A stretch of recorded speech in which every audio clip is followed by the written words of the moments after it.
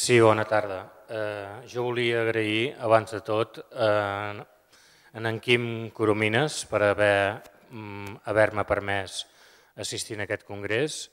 Després volia dir que bueno, el meu nom és eh, Lluís Patxacó Valls, que eh, vinc de la Universitat de Girona, però podria dir que amb representació de més companys i gent que estem involucrats dintre de lo que és l'estratègia RIS3CAT per energies sostenibles, on hi participa gent de l'UPC, de l'IREC, del CIMNE, de l'Autònoma i també de l'ICEMAP. O sigui que a nivell de recerca crec que podríem participar de manera molt positiva a l'hora d'engegar coses tecnològiques. Eh, si se me permet, m'agradaria fer un parell de preguntes. La primera seria en Ramon Sans, d'aquest matí, quan ha fet la seva exposició molt brillant, ha estat parlant del territori i em sembla que ha dit que era 1.37, me sembla recordar. O... 1.22. Ah, 22. Val, igual era un altre país que m'ha quedat. Eh, però bé, eh, no s'ha contemplat en cap cas el fet d'implementar plataformes, per exemple, eòliques, offshore. Eh, aleshores, això ho he trobat com una mancança. Tinguent en compte que una mica enllaçant en el que ha dit la Maria, eh, doncs tindrien de procurar una mica que fos quilòmetre zero l'energia.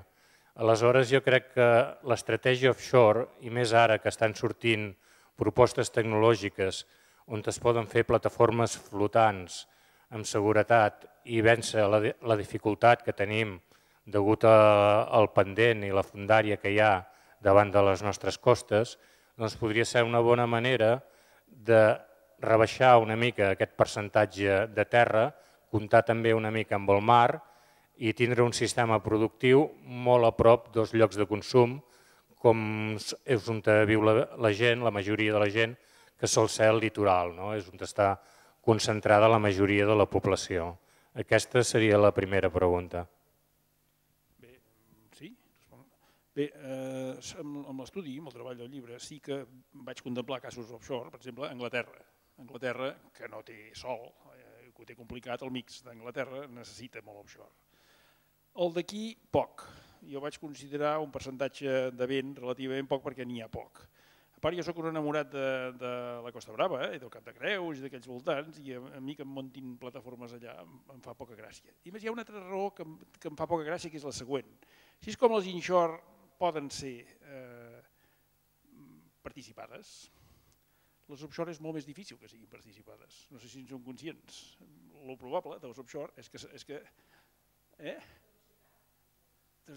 I, I és més fàcil que les agafin eh, projectes macros de, de les grans empreses. O sigui, el, això és la, la, la qüestió que a mi em preocupa. Val, jo crec que a 30 quilòmetres de distància, per dir alguna cosa, eh, l'impacte sí, no, no hi és, no?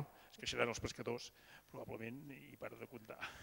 Bueno. I sí, a l'Empordà, a l'Empordà, al nord i al sud de, de Catalunya, té moltes possibilitats d'offshore, evidentment, i val la pena tenir-ho present. Jo crec que val la pena tenir-ho present. Bueno, és, és una cosa a tindre en compte, perquè potser a l'hora de posar inshore gran infraestructures i sempre hi seríem a punt, a punt no? i potser trinxaríem més el territori que no pas gastant-se una mica més de cèntims i posar-ho al mar. Val? Bueno, és una reflexió tan sols. Sí, sí. De tota manera, jo al donar-me compte que sortia l'1,22% del territori em va semblar que era relativament poc, com perquè no ens calia el, el, això. Sí, és molt, 39.000 hectàrees, però bueno, veníem, sí, però veníem d'uns moments del boom, del boom eh, immobiliari que ens havíem carregat un 2,5% del territori. I esclar, em va semblar no massa. Uh, després hi ha una segona qüestió i és que, no sé, la visió que tinc des de fora és que una mica dintre de nosaltres mateixos no ens acabem de posar d'acord sobre el model que volem implementar. No? Això m'ha semblat aquest matí, vull dir que hi ha hagut visions i ara a la tarda s'ha reforçat amb el que he entès que eh, s'ha explicat de la política europea, referent a que per una banda eh, se diu que no es vol mai eh, fer grits aïllats, estem totalment en contra de la desconnexió, val? que tot té de ser connectat, i després hi ha idees que parlen a nivell de eh, el que seria a nivell comarcal o a nivell d'usuaris, on se'ls podria donar una autonomia per, per fer-ho tot, no? o per ser capaços de crear el que seria grits local. No? Jo crec, aquesta també és la meva postura, això de que hi ha posicions totalment oposades, gent que ho veu d'una manera i gent que ho veu d'una altra manera, i jo crec que potser el correcte seria deixar la porta oberta perquè potser per alguns llocs del territori es convenient una, una solució, estic pensant de llocs més de comarques, no? de donar eh, més autonomia a l'hora de produir i més diversificació i potser sí, en llocs on hi ha molta aglomeració urbana, doncs que és més complicat tot. No? Vull dir, és una reflexió en veu alta de que m'ha semblat això, no? de que hi havia posicions molt diferents en aquest aspecte. Val? Una mica això.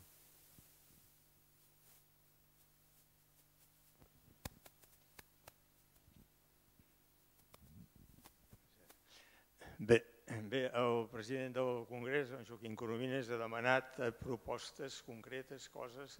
Bé, jo només faré una, cosa, una aportació molt curta i és que ahir eh, vam presentar un material didàctic eh, dedicat als professors d'ensenyament secundari que estan a la línia, diríem, d'explicar què és l'energia, la transició, etc etc etc. Aleshores, és un material que s'ha elaborat amb un plan voluntarista totalment, amb una música de fons constant de que no hi ha diners, no hi ha diners, no hi ha diners, i aleshores ara hi ha un document penjat en, en PDF en la web de, de, del Departament d'Ensenyament i ja està. Aleshores, a mi jo crec que seria una llàstima de que aquest document eh, anés al racó. Vull dir, jo penso que s'hauria de divulgar moltíssim. Aquest document és millorable, tot el que es vulgui, però diríem, penso que és una cosa que pot incidir molt positivament en, de cara a mentalitzar de, de, del problema i de les solucions. Eh? Res més. I, I, perdó, una cosa, vull dir, va començar a elaborar aquest document i va participar l'ICAEN i després doncs, va desaparèixer. Vull dir que aleshores penso que en aquest moment que sembla que l'ICAEN doncs, no sé, té uns altres aires, o té una opció, una opinió personal, doncs penso que seria bo doncs, que se li donés suport. Res més. Suposo que vostè deu ser en Jordi Pujol, veritat? Val. És que me n'han parlat molt d'aquest document, m'han explicat qui l'havia escrit, m'han dit en quina web està penjat, jo encara no l'he vist, i ja n'hem parlat internament, que necessitàvem veure aquest document, fer una reflexió sobre ell, perquè nosaltres trucar a la porta d'ensenyament tampoc ens és fàcil. Llavors, amb ensenyament, com ho tenim previst d'entrar? Veurem, dins de les bases de la transició energètica, una altra cosa de les que diem és que cal crear una comissió de gent dintre de la Generalitat que té que desenvolupar coses. I, òbviament, la Conselleria d'Ensenyament n'és una, perquè abans ho comentàvem amb alguns d'aquí, els que estem aquí d'alguna manera ja som descomptats de tot això. Els importants són els que venen, i els que venen eh, són els que s'han de trobar amb tots aquests canvis que estem dient, i aquests canvis si seran o no hi seran, si els que venen estan preparats per fer-los i estan engrescats per fer-los. I per tant la informació és clau. Jo, per exemple, amb ensenyament sempre dic que en aquests moments encara estem ensenyant als nanos, jo ho dic perquè ho veig amb els meus, a fer auditories a casa del número de bombetes que tens. Escolta, el que els hem d'ensenyar als nanos és que hi ha un comptador digital i que algun dia, espero no sé gaire llunyà, podran descarregar-se un app d'aquestes gratuïtes que ells en saben 10.000 vegades més que jo i començar-ho a remenar tot. És això el que els hem d'ensenyar als nanos, no? respecte a l'energia, fer-los atractiu, fer-los atractiva. Per exemple, l'altre dia, sense anar més lluny, el, el conseller d'Empresa i Coneixement, que ho és d'empresa i per tant ho és d'energia i ho és de coneixement, feia la reflexió de per què els nanos no volen estudiar enginyeries. I jo li vaig dir ben clar, mira, saps per què no volen estudiar enginyeries? Sobretot les que tenen a veure amb energia. Dic perquè estaran estudiant unes tecnologies que són les que a data d'avui són vigents, que el nano aquest, que ara té 18 anys, quan acabi s'incorpori a la seva vida professional, a mitja vida professional probablement aquesta tecnologia ja no hi serà. Dius, però quina mena d'atractiu és això, estudiar alguna que saps que d'aquí uns anys potser no hi serà i que està de baixa. O el mateix nano, que potser aquesta tecnologia que durarà molt més, que té a veure amb el petroli, quants nanos hi ha que vulguin començar a estudiar, per estudiar, després ja veurem de què treballem, amb energia bruta? Ostres, és molt poc atractiu eh, posar-se a estudiar ara cinc anys de carrera per, per, per estudiar l'energia bruta. És molt, molt poc atractiu. Però és clar, és que com que el mercat laboral això és el que els ofereix després, resposta, els nanos no estudien això. Perdoneu, jo tampoc ho faria ara, ja us ho dic ara, eh? jo tampoc ho faria, perquè, perquè no hi ha cap sortida. En canvi, si aquests nanos els comences a orientar cap a un nou model energètic i veuen que hi ha opcions d'arribar-hi, perquè si no veuen que hi ha opcions d'arribar-hi estem perdent el temps també, les coses canviaran. Per tant, insisteixo, sense haver vist aquest material didàctic, segur que més enllà del que hi posi l'hem d'adaptar cap a les noves tecnologies que venen, encara que, insisteixo, avui no hi siguin, perquè això en el futur i, i és molt poc atractiu. Fixeu-vos que jo he estat repassant eh, les, les carreres que es poden estudiar ara. N'hi ha una que és enginyeria energètica, ara té aquest nom, i penso que hi deuen estudiar aquí. No ho sé, eh? Lo del passat o lo del futur. Clar, perquè dius, home, lo del futur al igual resulta que no ho tindrem mai, tal com va la cosa, la cosa està fumuda. I per estudiar lo del, lo del passat, que al igual canvia pel camí i a més a més comença a ser lleig i fa pinta de contaminant, ostres, que poc atractiu que és no sé quants hi deuen haver d'estudiants, però pocs, pocs perquè realment no és atractiu. Eh? Per tant, tinguem-ho això present, eh? que si hem de preparar professionals del futur, ostres, ja cap a cara les energies netes, eh? perquè si no, no hi seran, eh? perquè, insisteixo, vosaltres mateixos feu-vos la reflexió si tinguéssiu 18 anys ara, us posaríeu a estudiar una tecnologia, que són les vigents, eh? que no sabeu quants anys els hi queden i que a més a més porten el barret de brutes, home, no. I les noves, que cada cop que han intentat sortir les hem estroncat pel camí, hòstia, doncs tampoc, solució no n'hi ha.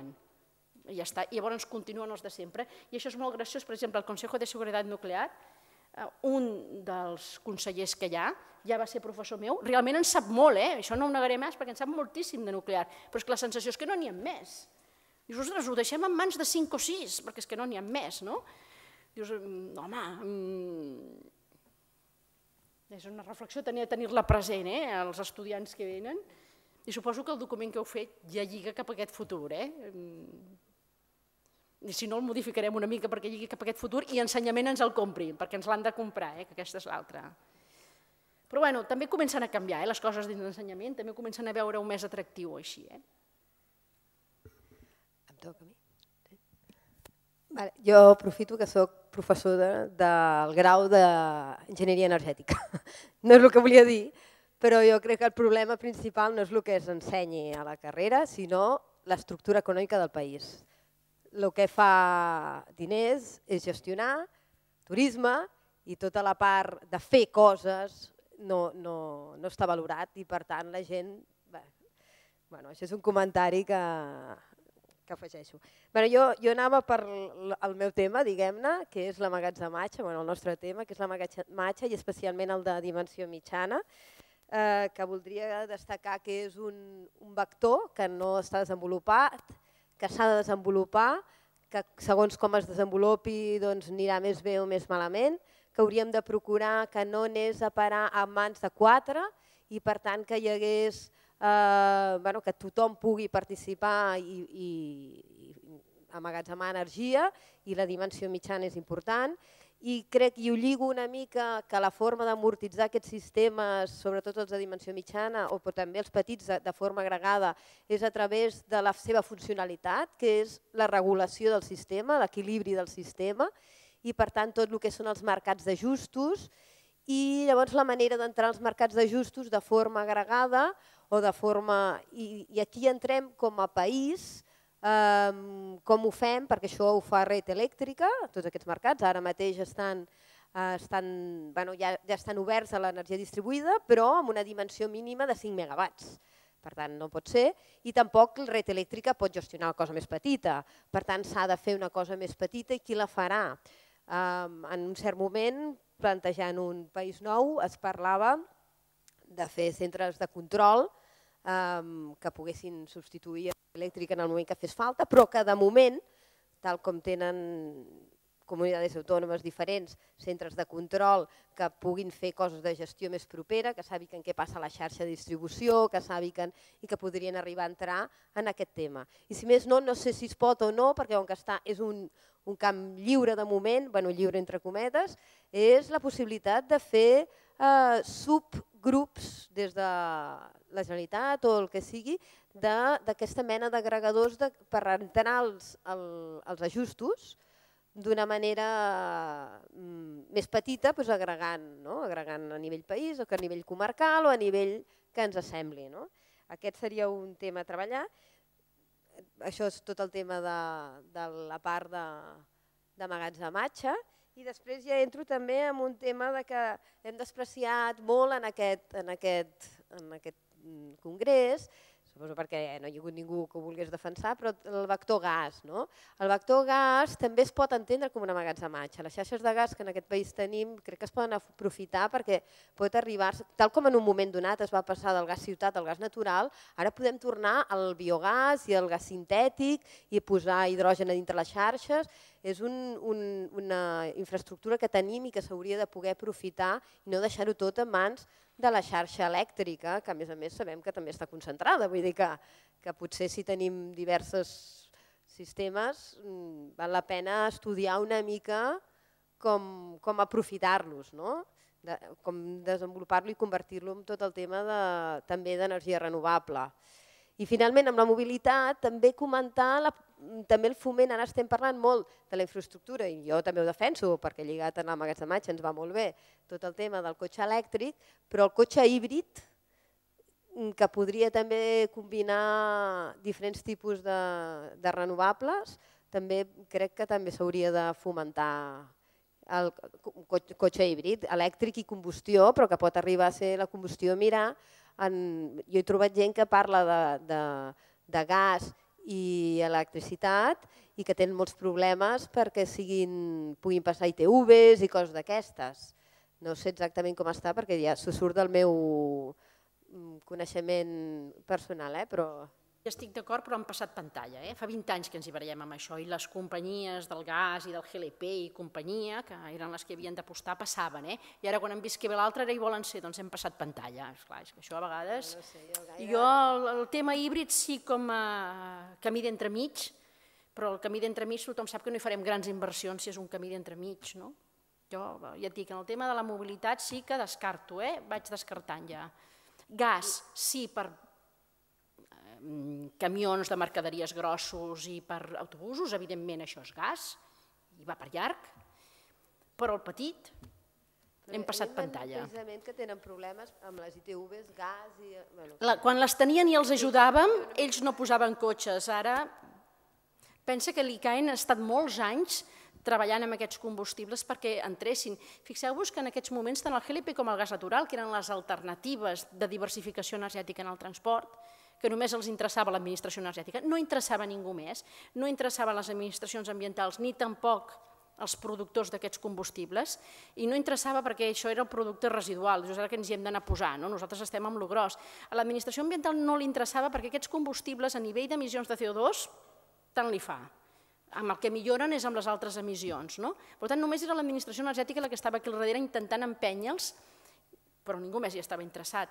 A la que han vist que hi ha alguna altra cosa que aixeca el cap i l'aixeca en sèrio, han aixecat ells el dit, perquè si tu vols que una cosa no tiri endavant, fes-te borrós. És el que dèiem abans, a vegades a la vida s'ha de decidir quin camí agafes, perquè intentant triant-los tots quedes allà on eres. I aquí, mentre intentàvem que aquests tiressin, no van tirar, i ara, ara, que veuen que n'hi ha un, que la gent està començant a tirar per aquell camí, tornen a sortir tots. Doncs no, ja no. Ja no, ara toca això, no? I això ens passa una mica amb l'hidrogen. L'hidrogen ha tornat a ressuscitar per l'automoció. Eh, l'hidrogen cada cop que l'elèctrica aixeca el cap, aixeca el cap ell també. Jo crec que aquí ja hi ha temes foscos, eh, també, sincerament, perquè de nou, quan barregis les tecnologies, sempre en guanya una, que sol ser l'antiga. Per tant, aquí eh, jo crec que comença a ser el moment de centrar-nos. Que ens equivoquem en el camí que agafem? Doncs ens equivoquem, però toca agafar un camí si no, no ens mourem d'allà on som. Eh? Fa massa anys que discutim. I mira, aquelles imatges que, las imágenes que nos has enseñado de los distintos presidentes es que es buenísima. Hace demasiados años que discutimos de lo mismo. Toca coger camino y, que nos podemos equivocar, ¿eh? Però quan nos estamos equivocando és no cogiendo caminos, eso seguro. Eh, per tant, aquí comença a tocar el moment d'aclarir-nos. No? El que deies, eh, per tant, aquesta última part no te la compro, ja t'ho dic ara. I, i, I insisteixo que costa molt no comprar-la. Eh? Per exemple, avui mateix hi havia a Barcelona unes jornades de GLP per l'automoció, on hi participava tothom, i l'ICAIN va dir que no hi anàvem, bueno, hi va haver fins i tot un daltabaix perquè dèiem que no hi anàvem. I dic, escoltem, ens hem començat a definir i venir en aquesta jornada vol dir que tornem a ser borrosos. Eh, no venim. Punt. Jo, però vosaltres éreu els que havíeu promocionat molt el GLP fa uns anys. Sí, fa uns anys, tu has dit la paraula. Considerem que ja hi ha una nova tecnologia molt millor. Per això també he fet el comentari ara del tanto amb els biocarburants. Eh? Que els biocarburants és un petit tant per cent que li afegirem al gasoil i del gasoil no sortirem mai. Per tant, al tanto, que aquesta també ens la coneixem. És a dir, és que els que portem molts anys en el tema de, dels diferents carburants amb el transport ja les hem vistes de tots colors i, escolta, jo ja ho sé que l'home és l'únic animal que ensopega tantes vegades com es troba la mateixa pedra, però toca esquivar-la. Toca esquivar-la aquest cop. Per tant, tots aquesta mena de coses que fa masses anys que volten ja no toca. Tenim la gran sort que sembla que el de les bateries va en sèrio. I això us ajudarà a vosaltres, el que tu comentaves de lo dels agregadors. Mira, la, si no vaig errada, em sembla que va ser el, mes passat, que Tesla en tres mesos ha construït 150 eh, megawatts d'acumulació als Estats Units. En tres mesos els ha construït. Eh, qui els ha pagat? La, la recerca pública? O va, home, els ha pagat la butxaca d'un senyor que els hi fa pagar els cotxes Tesla a preu d'hort amb els altres, amb els que tenen diners. No? Eh, bueno, doncs benvingut sigui, la veritat. Eh, benvingut sigui perquè és el que t'està pagant la possibilitat de que tu puguis posar energies renovables emmagatzemant energia i formant part d'aquests mercats. Si no, qui ho pagaria, això? No ens enganyem. Eh, allò que deies tu de que la gent hi va per fer diners, doncs fixa't, possiblement en el món de l'energia és dels únics llocs on la gent no hi va per fer diners, els que ho estudien, els que ho estudien, perquè si no ja no hi aniríem. Ho fas més per un tema de que t'agrada. I per, I per això deia que si és perquè ens agrada i hem d'anar a parar una cosa antiga que té el barret de brut, no hi anirem, no hi anirem, perquè si ja no hi anàvem pels diners, imagina't per l'altre, no? Eh, mm, per tant, fixa't que dins d'això del, del món energètic tot això tot tornant a donar vida, eh? totes aquestes coses que venen i que veus nanos que s'interessen molt per aquests temes. No és per l'antic per lo que s'interessen, s'interessen per lo nou. No? Per tant, quan veus que això tira, no tornis a ser borrós. I si ens equivoquem, doncs mala sort. Portem un tants anys equivocant-nos que ja no ve d'aquí tampoc. No? Però jo crec que ara no, no ens equivocarem i això serà el que a tu et permetrà jugar. Eh? De fet, jo en moltes de les meves presentacions, entre d'altres les de les bases de la transició energètica, no poso un parc eòlic, poso un parc eòlic associat a un pack de bateries. Ja va directament així. Perquè el parc eòlic sol no és transició energètica, fot 25 anys que van fer, començar a fer parcs eòlics, per tant, això no és la transició. La transició és el parc eòlic associat a bateries. Aquesta és la transició. Per tant, aquesta ja és la imatge que posem. Eh, per tant, no la recularem, aquesta imatge de nou, perquè començaran a sortir coses estranyes, a veure si era aquest o era l'altre. Miri, no sé si era aquest o era l'altre, però hem triat aquest. I és que si no, no avançarem. Ja dic, en el cas de l'automoció és el més clar, perquè sobretot recorda que és qui pagarà la teva festa, eh? és qui pagarà aquestes bateries, perquè si no, qui les ha de pagar? El sector eòlic, òbviament, no les pagarà. El sector fotovoltaic, menys. I el sector dels carburants, tampoc. Per tant, faran tota la força perquè els biocarburants tirin endavant. A mi, jo no ho he volgut dir aquí, però una de les coses que em molesta més de les noves directives europees és aquesta insistència dels biocarburants. Home, ho ha suavitzat una mica en Ferran Terradellas dient-lo dels vaixells i lo de l'aviació. D'acord, va, ens ho comprem allò de pulpo per animal de companyia. Però, cuidado, eh, que mm, a l'automoció convencional, aquests 3 milions de cotxes que hem de canviar, no. I recordeu que aquests 3 milions de cotxes que hem de canviar són els que ens afavoriran que aquests 3 milions d'edificis que hem de reconvertir puguin tenir sistemes d'autoconsum emmagatzemant en el propi edifici. Per tant, aquests dos 3 milions de coses van junts. Van junts en un mateix edifici. Per tant, ara aquí no comencem a barrejar ni GLPs, ni gas naturals, ni, ni biocarburants, ni altres històries vàries, eh, que ja... Insisteixo, hem passat pantalla espero, espero haver passat pantalla eh, d'aquests temes. Des de l'ICAIN no hi donarem cap suport a totes aquestes altres coses, només en el gas natural per les mercaderies. Aquí sí, i pel transport de, de passatgers eh, gran. Aquí sí. Però la resta no hi serem, ni en la foto. Amb diners ja no hi érem, però ara a la foto tampoc.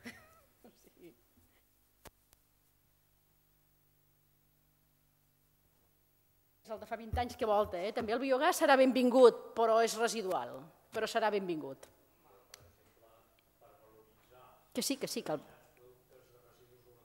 Que sí, que el biogàs serà benvingut. Que sí, que el biogàs és benvingut, però és una fracció molt petita, però sí. Però no per posar-lo dins aquest món que dèiem, eh? és, és una contribució molt petita en tot això, per tant, sí no li fa la guerra a la bateria, perquè ens entenguem. Els biocarburants sí. Aquesta és la diferència, no?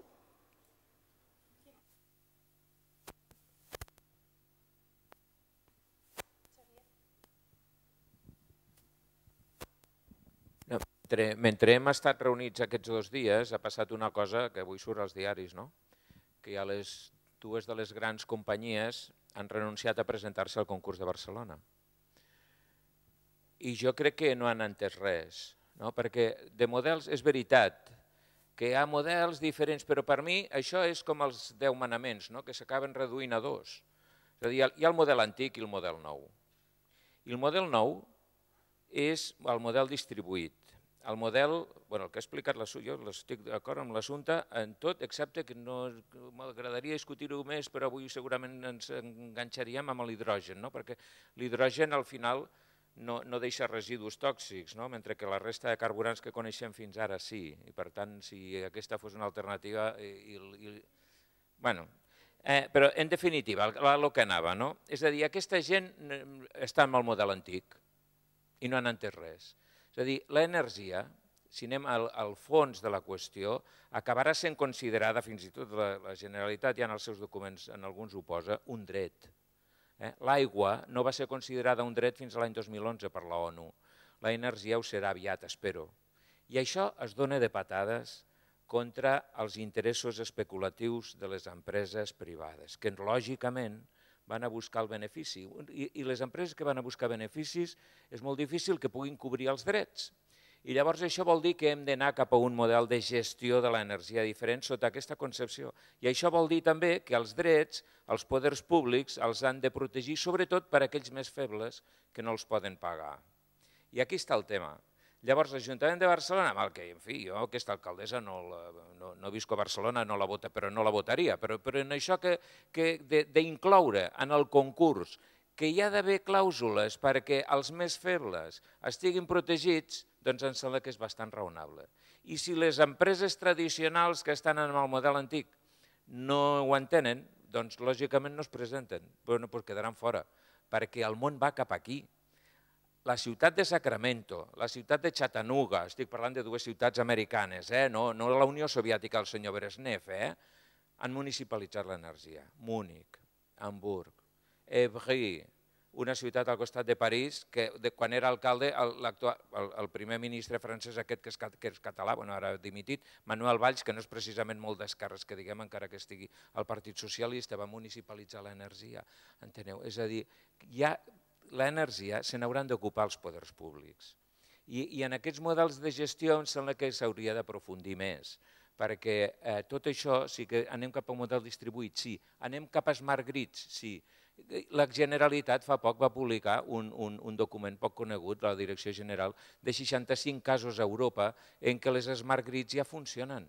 I aquí la pregunta que li he fet al representant de la Unió Europea, el senyor Tarradellas, és precisament per què aquí encara, per què cony no funcionen, perquè no les podem fer al port d'Anvers, polígons industrials a Manta, a, a, a Bèlgica, a, a Alemanya, a França, estan fent smart grids. És a dir, això va cap a l'empoderament, aquí ja s'ha dit també a la taula dels ciutadans. Els ciutadans ja fa, fabriquem energia. Jo fa quatre anys ja faig, tinc, tinc, tinc geotèrmia a casa, ja vaig desconnectar del gas i ara desconnectaré de l'electricitat. Segur, eh? Ja pot venir el senyor Rajoy amb els seus inspectors si volen. Jo me desconnectaré d'Endesa de, de, i seré autosuficient. Això vol dir que haguem d'estar desconnectats tots? No, home, eh, naturalment. Tot això són smart grids, són xarxes que s'hauran d'interconnectar també, evidentment. Però estem en un model nou i qui no vulgui anar al model nou doncs desapareixerà. I els senyors d'Endesa, per ser italians, que juguen amb els nostres interessos i se'ls emporten cap a Itàlia, doncs ho hauran d'entendre els senyors de gas natural també. I llavors, sota aquest nou paradigma, hauríem de reflexionar més. Quin paper els hi toca fer? Jo un dia li vaig dir a una senyora d'Endesa, miri, ara em desconnectaré, però, per tant, perdrà un client, però em pot guanyar cinc. Si vostè em fa el projecte, igual li compro. Si vostè em fa eh, proporcionar els materials, igual li compro. Si m'ofereix un manteniment adequat, igual li contracto. I si em fa l'assegurança de la instal·lació, millor també i la senyora que porta temes d'energia renovable, renovable aquí a la Universitat de Barcelona, eh, això que organitza la Maite Costa i que hi va el Brufau i el Llardent i tots aquests que costa un fotimer de peles, no com aquesta jornada que pots venir gairebé sense pagar o sense pagar. No? Doncs em va dir, diu, la, mi empresa, yo soy la más disruptiva de la empresa, diu, pero porque me ocupo renovables y cosas de esas, diu, pero mi empresa tiene que ir por aquí. Doncs ha d'anar per aquí, aquest és el nou model energètic i en tot això és el que hauríem de continuar aprofundint i em sembla que a mi em mou a reflexió el que ha passat a l'Ajuntament de Barcelona en aquest sentit. No sé si estic encertat o no, però eh, la, la, la, la pobresa energètica també és quelcom que hauríem de, de, de continuar estudiant i aprofundint per veure qui al final se'n fa càrrec les empreses, l'administració, en forma de subvenció, en forma d'incorporació dels costos a la tarifa de tota la resta que sí que ho poden pagar, etc etc. Jo tinc dret a paraula? Sí, no? vale, jo sóc l'Alicia. Només que com has parlat de drets, suposo que jo en sé molt poquet i estic aquí aprenent de tots vosaltres, per tant, després del que diré em podeu tirar els plats pel cap, però lligat a tot dret hi ha d'haver un deure, no? I de la mateixa manera que ha costat tant, per exemple, amb el tema del reciclatge, els materials, el consum que en fem, és ja, abans s'ha parlat de la paraula abús, no?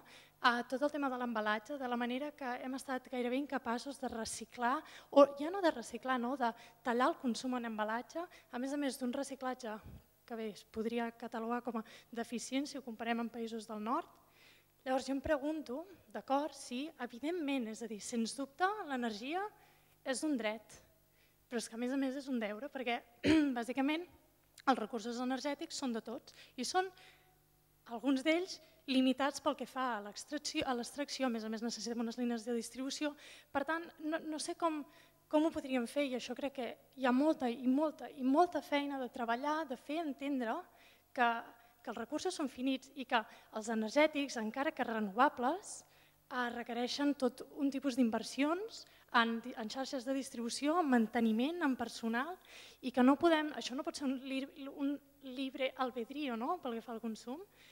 I no sé, que evidentment que hem de fer una transició cap a les renovables, però a més a més hi ha d'haver un treball molt i molt i molt intens pel que fa al consum. I no només, i això una vegada li preguntava a l'Anna, jo pensava que el consum més gran era el, el jo, no? I, i tots vosaltres l'individual, no? però comença amb les indústries. No? I clar, jo no sé de quina manera això es pot abarcar, no? de dir, escolteu, aquí hem de, aquí hem de canviar la manera que tenim d'entendre el que és l'electricitat. I no pot ser que en fem un abús tal. No sé si esteu d'acord o no, però hem de començar a canviar.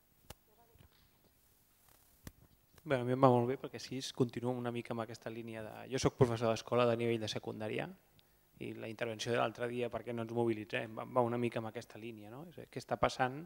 Jo li demanaria demà, li diria eh, que empoderi el ciutadà amb, amb dades, per exemple, contaminació. Fem públiques les dades de contaminació de... Sí, sí. Vinga, fem públiques les dades de contaminació de les indústries. Fem, eh, fem, fem etiquetatge energètic de la Generalitat, perquè eh, l'etiquetatge energètic del, dels particulars està molt bé, però per què no posem els, els equipaments de la Generalitat i els hi posem una etiqueta? Sí, sí, I després, l'estil de governança, i per què, com els diem als alumnes, que, que s'han de fer responsables, i quan no fan una cosa els hi demanem un peatge, no? perquè no es comprometen a que quan no compleixin passi alguna cosa i que estigui per escrit i transparent i publicat als ciutadans. Ens comprometem a fer això, perquè queda molt maco fer tot això, dir objectiu 30-30, objectiu 40-40, objectiu no sé què, i després tothom es treu un dolent de la xistera. El president tal, l'altre no sé què, el govern de no sé què, el del biodiesel, el de... Ja, ja, però si no ho complim, què li estem traslladant a, a, a la ciutadania? Que tot és igual. A Noruega això és impensable. O sigui, per què no fem, i és la segona part de la, de la reflexió, en comptes del 30-30, doncs, posem un objectiu que sigui factible, posem-ne dos i complim-los, perquè posar-ne 400 i complir 10 ens deixa, com a societat, ens deixa malament. Eh, cultura, cultura, cultura i responsabilitat. I va amb la línia aquesta, no? Molt, molts drets i deures, o sigui, tots els incompliments dels polítics en què acaben? Oh? Clar, és, és molt fàcil eh, vàlvules d'escapament de 2.000 o 3.000 milions d'euros. Un plan PIBE, un plan PIBE que et donen una subvenció a l'IRPH, bueno, a l'IRPF, al ciutadà, i dius, bueno, hi haurà un plan PIBE per l'eficiència de les llars? Clar, clar, és, és allò de dir que és molt fàcil parlar de 3.000 milions, 300.000 milions anuals d'aquí al... Dos, clar, I tu com a ciutadà penses, si, si amb molt poquet, només que em donessin 2.000 euros, em comprava aquestes bateries i me'ls deixessin pagar en 20 anys, eh, és igual, ja estaria, estaria solucionat. Eh, al final vas alimentant amb un model econòmic que ja... Bueno, que és, és el tema, no? Llavors, doncs, possiblement... Sí, sí la reflexió és allò de dir, per no posar que no tenim competències, perquè demà dirà no tinc competències d'això, no tinc competències d'allò, bueno, doncs les que tu en tens, fes-les i, i, i si no ho fas, t'has de comprometre a què passarà. Ja està, tan, tan simple com això, sobre les competències que tenim. Però que falta credibilitat amb el sistema polític i la política és molt important, falta credibilitat, perquè és que al final ens estem desconnectats. Aquests joves que no volen estudiar energia no volen saber res de la política. Volem fer una revolució, volem fer una revolució, però no sabem com la farem, perquè els polítics no ens sentim identificats, perquè és igual.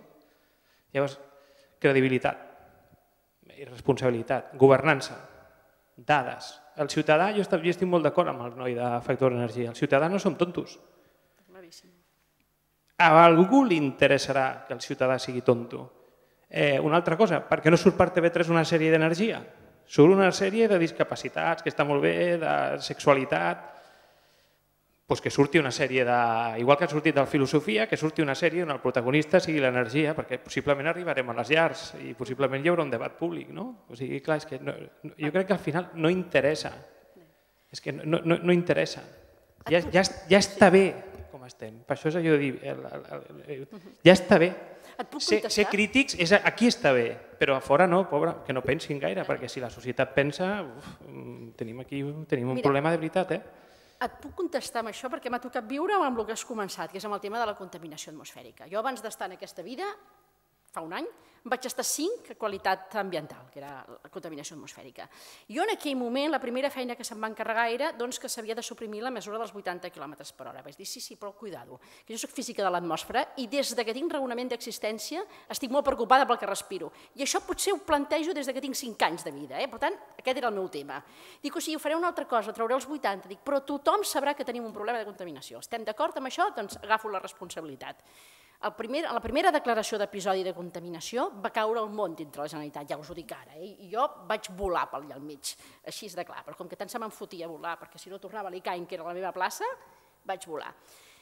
Quin objectiu tenien els episodis de contaminació? Era claríssim, generar demanda social. No pretenien millorar-te el que respires, perquè això no ho farem en 15 dies, pretenien generar demanda social, que despertéssim que despertéssim. Per què? Perquè tots els polítics necessitem a darrere que algú ens empenyi, perquè sols no ho aconseguirem. Per què? Perquè al final tu tens un govern que té molts objectius damunt de la taula i té quatre duros.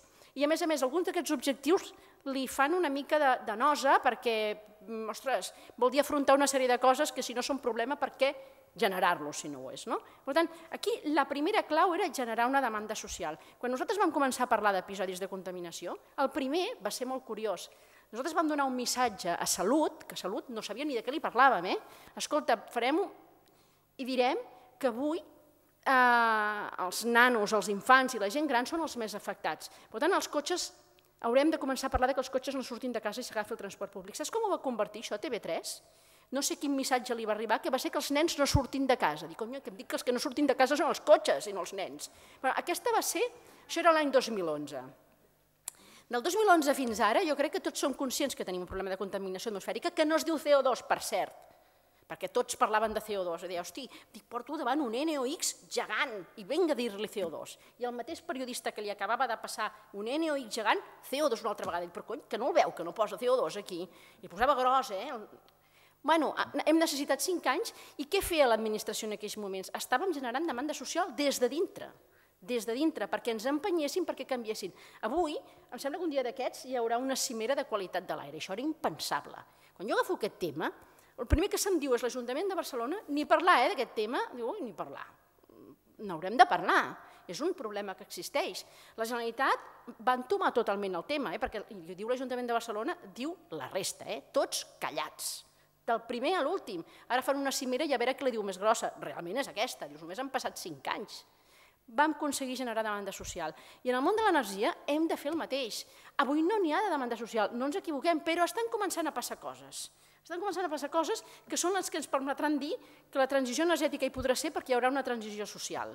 I quina és la transició social? Mira, és el tema de l'autoconsum. Eh, el, el mes de juny del 2016 vam crear la taula pel desplegament de les infraestructures del vehicle elèctric.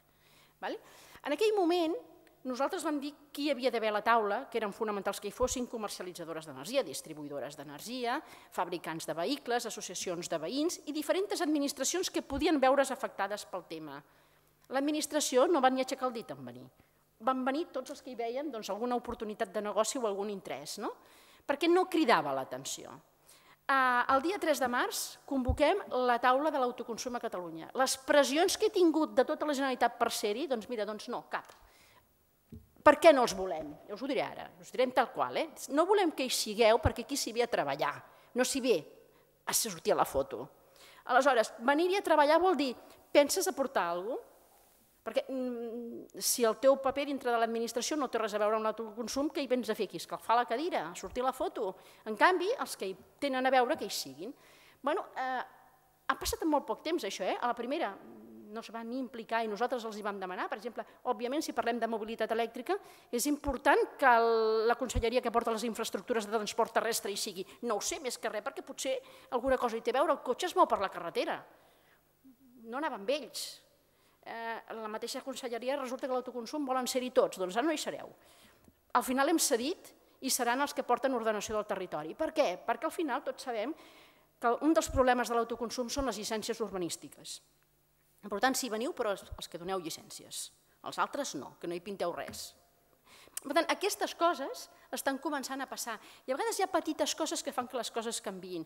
I jo crec que l'autoconsum n'és una. Potser perquè et dona aquesta sensació de, de que et pots independitzar, que jo sóc de les que no vull independitzar-me, per cert, en el cas de l'energia, a mi m'està molt bé estar-me connectada, sempre que tingui un 30% d'opcions de no estar-hi quan em convingui però el 70% restant sí que vull estar. I això voldrà dir que he d'acceptar condicions. Sí senyor, les acceptarem, però hi ha un 30% que no les acceptaré. Podem, podrem començar a jugar. Bé, aquestes petites coses poden fer-ho canviar. Per això insistim tant en la importància de que els nanos coneguin la informació dels comptadors. Clau, perquè insisteixo, nosaltres estem descomptats, vosaltres sou més joves, però aquí estem bastant descomptats ja. Però el meu fill no està descomptat encara i vull que hi sigui, perquè vull que hi sigui no vull que l'ensenyin a comptar bombetes incandescents a casa perquè a casa no en trobarà cap de bombeta incandescent, per tant no cal que les compti. El que vull és que sàpigui com funciona el comptador. I, i que demani que no pot ser que hagi de traspassar quatre pantalles per saber la informació, que amb una app ho pugui saber, que hi ha alguna companyia elèctrica que ja t'ho fa, no? Dius, pues si no m'ho fa aquesta, me la canvio. Ostres, és que resulta que t'ho fa la que té la distribuïdora. Cago en dena. La distribuïdora és la que és, no? Comencem a posar coses damunt la taula. Si aquesta distribuïdora no fa... A mi m'és igual eh, que sigui una empresa privada que sigui una empresa pública, jo vull que ho faci bé. Per tant, el que ho faci bé, que ho faci. Per tant, no em molesta eh, que sigui privat. Per tant, tot el tema de la municipalització, a part mi jo no em faré bandera d'això, però que ho faci bé. I fer-ho bé vol dir que jo vull a la meva app al meu comptador Això és el que vol dir. I avui jo tinc, per exemple, en el meu cas, tinc un comptador digital que no està telegestionat. Fantàstic. Però estic pagant eh, per tenir-lo. Pues això és el que no vull. Llavors el que vull és que els nanos sàpiguin això. Llavors, aquesta és la diferència que hem de ser capaços de fer-ho perquè això ens generarà una demanda social. Llavors vindràs, que tots els que estem aquí diran, escolta, nosaltres volem autoconsum. Fixa't que eh, el, a veure, el conseller que a mi em representa és el d'empresa. Clar, que el d'empresa hagi fet també la bandera de l'autoconsum, la bandera de l'autoconsum d'alguna manera és la bandera fins ara antigran empresa energètica. Ara ja no, eh? jo crec que com deia en Xavier Sabater, es comencen a veure les coses que ells també tenen una oportunitat de negoci claríssima. També la tenen, però fins que no ho han vist, doncs han tancat la porta. Doncs ara és una porta que estem intentant obrir entre tots. I insisteixo, que ningú s'esperi que això serà el 100%. Això serà un tant per cent, no sé, un 20, un 30, màxim, més no serà. Però necessitem aquesta demanda social, si no, no tira, no tira de cap de les maneres. Eh, Mira, jo una de les coses que li vaig dir al meu conseller l'altre dia, quan el govern va aprovar la taula de l'autoconsum, jo tots els dimarts i dimecres vaig a mirar en el Twitter les coses que penja el govern, a veure quants retuits han tingut.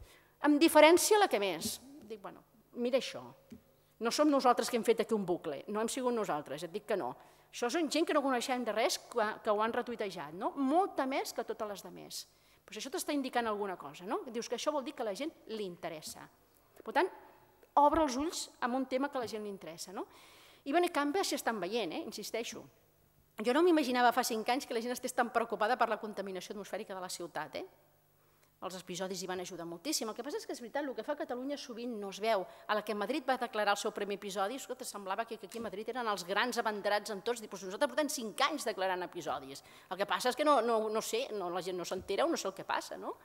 Uh, Clar, I quan París va declarar el seu, Catalunya ja els havia declarat els primers. Per tant, el primer era el que tenia mèrit, insisteixo, el primer va ser horrorós.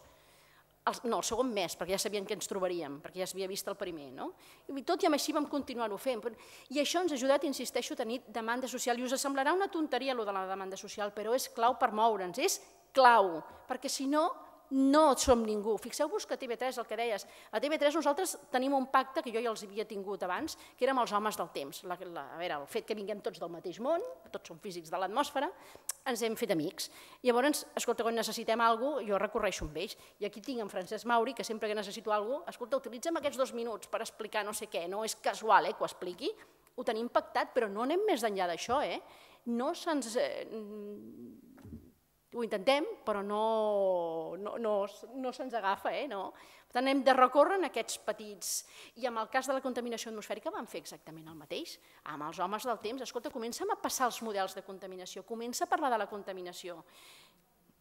Ajuda'm a que aquest missatge es difongui, però insisteixo, va ser una cosa bilateral entre exestudiants de la mateixa carrera. Eh? Va ser així la cosa. Però mira, aprofita.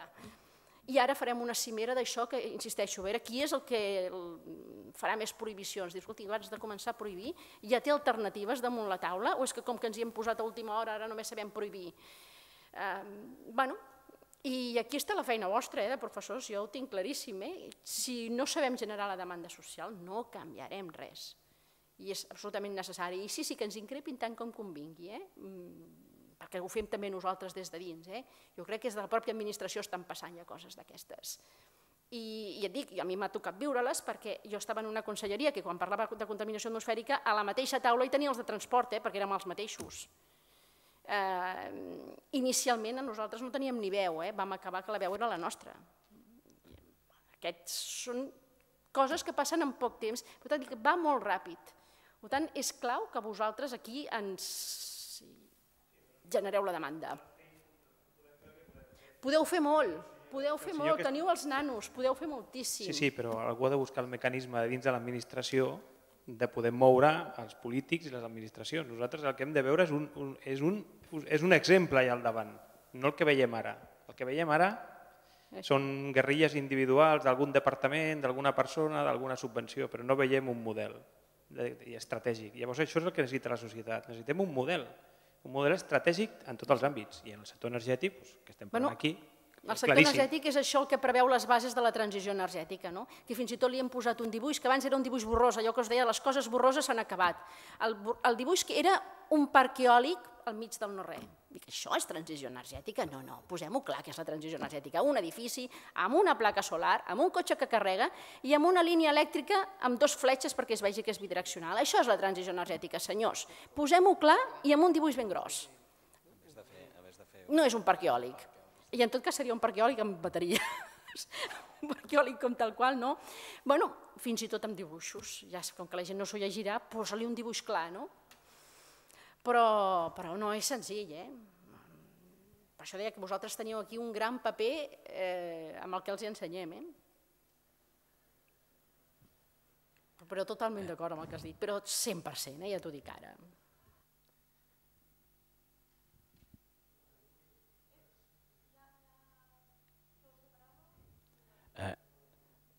Hola Jordi. Eh, escolteu, volia aportar una, una petita reflexió amb això. Hem parlat de, de tecnologies, hem parlat d'intel·ligència, hem parlat de, que, de normatives, hem parlat de que els governs, sobretot l'espanyol, no està per la labor i per tant hi posa totes les traves que pot perquè té un altre objectiu i un altre model. I hem parlat del ciutadà. I quan hem arribat al ciutadà hem constatat de que no reacciona bé. I jo dic, nosaltres estem parlant d'eficiència, d'estalvi, de millor gestió, de gestionar big dates, eh, de com finançar totes aquestes noves instal·lacions. I quan arribem al ciutadà només li parlem de diners. Sigui, tot s'interpreta en què t'has d'estalviar diners. I el ciutadà interpreta que no s'estalvia diners i per tant no fa res. És a dir, potser hem de reflexionar en aquest missatge de com arribem en el ciutadà. Perquè el ciutadà entengui que no estem canviant un model. No estem canviant un model, no estem en una època de canvis. Estem en un canvi d'era. Per tant, no es tracta de canviar un per un altre i vostè s'estalviarà no sé quan perquè fent eficiència llavors s'estalviarà una mica del quilowatt. És que cada vegada que donem aquest missatge, a més, té un feedback negatiu, perquè els gastos estructurals per mantenir un sistema energètic són els mateixos. Si jo faig estalvi i faig eficiència energètica, no estic, no estic eh, eh, abaratant el sistema. El sistema és el mateix. I per tant, el gasto estructural de manteniment del sistema, de transformació i de donar seguretat de servei, l'hem de pagar i l'hem de pagar entre tots. Una altra cosa és com el repartim i com el fem més, més, més equilibrat. Però jo em penso que ens deixem, a l'arribar al ciutadà, el missatge de dir el canvi el fem perquè necessitem seguir progressant com a humanitat perquè el model s'ha esgotat. Bo o dolent, però s'ha esgotat. I ara n'engeguem un de nou.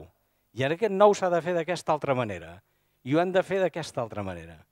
Eh, l'autoconsum, per exemple, que en diem, o l'autogeneració, que m'agrada més parlar a mi que no de, de consum, hi ha un tema, per exemple, que hem oblidat. Hi ha una despesa tremenda per escalfar l'aigua. Tenim la tecnologia per escalfar-la perfectament bé, solar i gairebé de gratis tot l'any en les nostres latituds. I en canvi no en parlem. I estem parlant de fer intel·ligent la xarxa, de fer... i resulta que la gran despesa energètica que representa escalfar l'aigua no som capaços de tirar-la endavant. I jo dic, comencem a debatre una miqueta què expliquem en el ciutadà. Potser el ciutadà no ens entén smarts, no ens entén aquestes gestions. Potser o té, altres dia, o té altre dia a dia que el, que el, el masega. Però vull dir, potser hem de fer, començar a fer aquesta pedagogia en el sentit que el ciutadà entengui de que ens hi posem entre tots perquè continuem endavant la humanitat. Perquè ens estem, si no, donant voltes en un cercle tancat que ens extingirem. I aquest missatge penso que falta no, no arribem al ciutadà, i arribem a través de l'empresa d'energia. I arribem dient-li que estalvi una miqueta i llavors ell fa números i diu, però escolti, si cada vegada el terme fix és més gran i jo estalvio quilowatts, però em quedo igual. Clar, és que aquest no és el missatge que li hem de dir.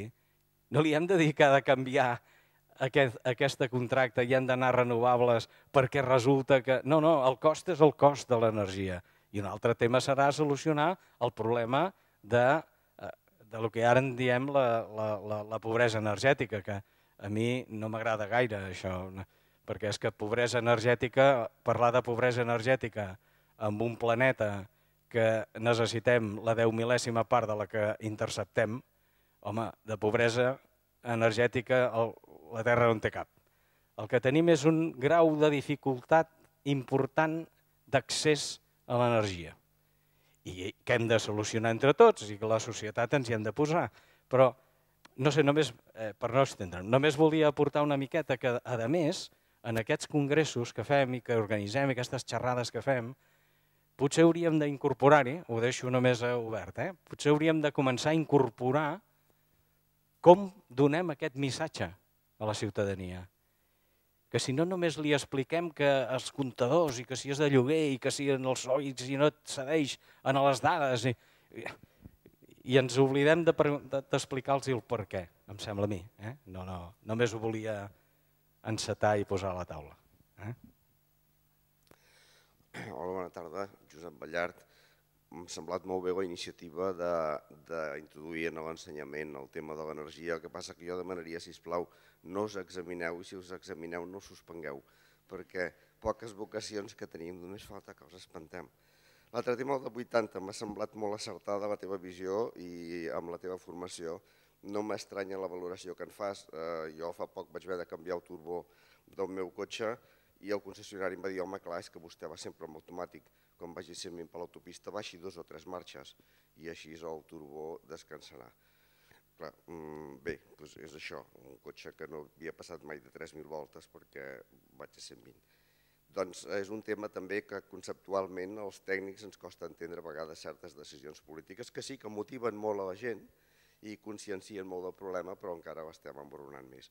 La meva intervenció anava en un altre sentit, impositiu, amb el tema de, de la normativa europea, que jo crec que introdueix un concepte que és molt potent, el de la comunitat energètica. Jo crec que hauríem de veure de quina manera som capaços de, mm, no dic vaig passar l'administració, perquè jo penso que l'energia que es pugui generar i consumir dintre de l'entorn, per exemple, el que és la xarxa d'enllaç, la que està compresa entre la Caixa General de Protecció i el comptador, de cap manera es pot considerar això eh, distribució en cascada i per tant no contravé la llei del sector elèctric. Per tant, jo crec que aquí hi hauria un marge de, de comunitat d'usuaris i que inclús aquesta energia, si vols, es pot fer servir per escalfar aigua per l'edifici, en la idea dels edificis de prop de zero consum, o eh, inclús pues, per, eh, per poder-la compartir entre, entre el veïnat sense contravenir per res la llei del sector elèctric. L'any passat, en el Col·legi d'Enginyers vaig estar liderant un equip de treball de 14 professionals on vam elaborar un document en el qual valoràvem amb tots els marges, des del punt de vista mm, electrotècnic, tots els marges d'incorporació d'autogeneració dintre de les xarxes d'usuari amb 220-240 volts, tant monofàsics com trifàsics, i vam veure que des d'un punt de vista tècnic, físic, no hi ha cap problema d'introduir energia amb uns determinats límits de potència sense que això posi en risc el dia a dia de l'operació d'una xarxa d'una empresa elèctrica, perquè l'empresa elèctrica la seguiria veient com un consum eh, passiu i, i estàndard i per tant no, no té cap. Aquest any, dintre del col·legi, també en Javier Cordocillo, que segurament el coneixeu, liderarà també un grup continuació d'aquest treball que es va fer amb la idea d'esbrinar eh, models, eh, models econòmics o inclús eh, regulatoris, eh, amb una, amb un desideratum de com podria ser el món sí, eh, com es podria fer per, per incloure tota aquesta energia. No? Per tant, jo crec que sí que hi ha coses a fer, diguem, aquest és un entorn molt concret que vam acotar i eh, hi ha altres perspectives d'altres coses, per exemple, amb la idea del que s'apuntava, de en un entorn com el Port de Barcelona ha de ser possible crear microxarxes que es puguin integrar amb una xarxa passiva i convencional sense que això faci que el director d'operació de l'empresa elèctrica que correspongui s'hagi de tirar pel balcó. Per tant, eh, jo crec que aquestes són les dinàmiques que hauríem de mirar d'anar introduint. Jo no sé si com el boves pilot o, o ara que està molt de moda la desobediència, doncs no sé si coses d'aquestes es, poden, es poden fer. Perquè jo crec que no és desobediència, eh? és dir, jo crec que aquestes, aquestes, eh, aquestes solucions tècniques no contravenen en cap manera a l'esperit de la llei del sector elèctric que d'una manera clara i concisa diu que queda terminalment prohibida la distribució en cascada d'energia. Això no és distribució en cascada, a menys que entenguem que la cascada vagi en direcció contrària. No? Però no, normalment no, normalment les cascades van de dalt cap baix. No? Per tant, inclús eh, en aquest grup de treball que portarà el, el Col·legi d'Enginyers Industrials està previst que s'hi pugui incorporar també algun abogat amb la idea de poder eh, fer un, un brainstorming de, de tots aquests conceptes. La directiva europea ja parla de declaració responsable, és a dir, que tot això resulta que no deu ser tan problemàtic. Per cert, a Portugal ja és declaració responsable, per tant, problemes, problemes no n'hi deuen haver. És més un problema d'altre tipus, no? perquè si a Portugal ja fan declaració responsable per tenir una instal·lació d'autoconsum, sense necessitat del permís de la distribuïdora ni el de l'administració, només de l'electricista que t'ha dit que compleixes el reglament de baixa tensió, vol dir que, si que no és un tema d'estudis, és un tema de voluntat. No? Si es fa d'una manera responsable, hi ha marge d'actuació a la xarxa, perquè des del punt de vista d'operació, macrooperació, aquests elements, des del punt de vista del seu funcionament, es comporten com elements passius. Per tant, no, no han d'incorporar cap cosa estranya en, en la xarxa. Tant les microgrids, poden ser centres de transformació d'una determinada potència, que a efectes de l'operador de la xarxa ho veu com un sector de transformació convencional tot i caigues avall, pugui haver-hi una potència instal·lada molt més alta que la potència d'intercanvi pactada amb la distribuïdora. Bueno, aquest és un d'aquells temes que clarament eh, demostra també que el model està canviant i que qui no ho vulgui veure és que no s'estantaran de res no? i qui vulgui continuar tancant aquesta porta és que no s'estantaran de res. És, és una mica això. No? Quan tardarem en obrir la porta? el que necessitem per fer demanda social, per obrir la porta i, i començar a entrar en la desobediència. Home, nosaltres abans d'entrar en la desobediència hi ha coses que podem fer també. Per exemple, les comunitats de veïns. L'electricitat que paguem dins d'una comunitat de veïns sol estar per sota dels 10 quilowatts, ja és comunitària, i podríem començar a desenvolupar un mercat eh, sense anar en contra de llei, ja podríem començar que els instal·ladors es preparessin, a que els edificis anessin tinguent plaques fotovoltaiques, ja podríem començar a preparar-ho per quan s'obri la porta tingui a punt el tema, no? I això sí que no estem contradint res, eh? I aquí sí que podríem arribar a fer fins i tot un pla d'implementació, escolta, els edificis nous tots, els existents 5-6 anys d'adaptació. Durant aquests 5-6 anys el que s'hi posa a temps pot tenir ajuts, el que s'hi posa a última hora s'ho paga aquest podria ser un altre model, eh? i aquest sí que, insisteixo, no estàs incomplint res, els costos serien mínims per a una comunitat de veïns, posar 3 quilowatts pic de solar, estem parlant de 3.000 euros, és que tampoc estem parlant aquí de cap gran fortuna, eh? i això et baixaria els costos directes, a més a més, per què no comencem per aquí, no?